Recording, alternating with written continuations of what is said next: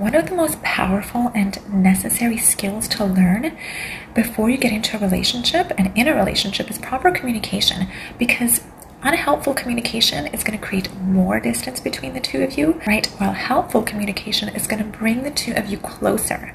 So, men and women communicate in very different ways, and this is important to understand, okay? If you can learn the right way to communicate with a man, relationships are going to be so much smoother and easier for you, all right? Part of this is learning to express your needs to a man in a warm and open way without bottling up your emotions. Another important part of this is taking responsibility for your part and taking accountability for your emotions, for your reactions, rather than, you know, assuming that your partner is the one who is always at fault.